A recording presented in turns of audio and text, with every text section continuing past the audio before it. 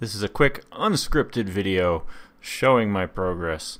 Uh, there's been quite a bit, but it's all been kind of technical stuff that I don't really want to make fancy things for because it's stuff that you can find all over YouTube and all over the place. A star and things like that. Uh, it's all necessary work. Um, and the fact that I'm kind of rolling my own system means that I don't have a framework that I can run from, so I had to do it. But there's nothing too exciting about it. Uh, I've pushed all of these the systems into a system controller.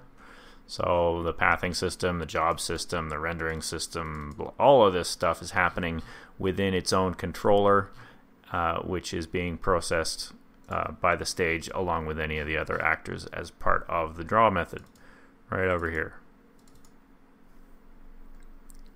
Exciting, I know, very much so. No, the, the big thing that's happened is that I've got a job system and a pathing system up and running, so we can actually do things and see results, which is pretty impressive, I know. So we're going to cut some plants and go boop, boop, boop, boop, boop.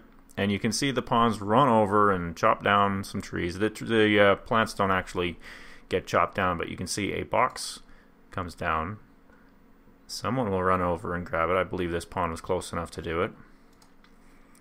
Come on. Someone run over. There we go. So pawns will run over and do jobs. And uh, you'll see the box disappears. Oh, maybe there's a pawn hiding in behind there. That must be something going on. Interesting. But you can see them kind of running around and doing things. So that means I have a pathing system and I have a job completion system running in the background and you can actually see them doing work right here. So they're they're applying work to trees as they go. So that's nice. And to do that I had to make a job system with job components and job seekers from worker components.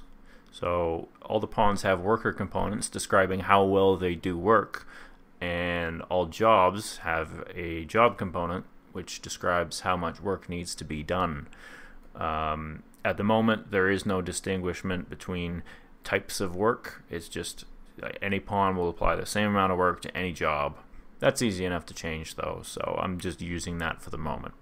Uh, the pathing system, as it is, just runs A star.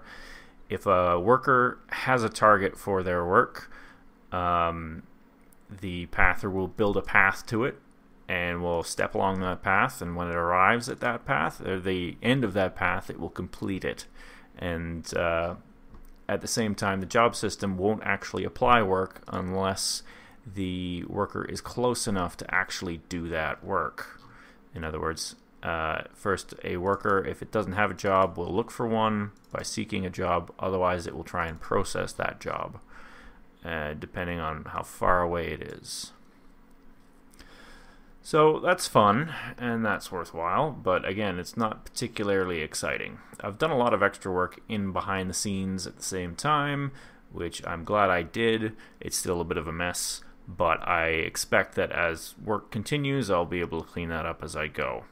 So there you go. That's the stuff that's happening, and I hope that you are excited to continue. Thanks for listening.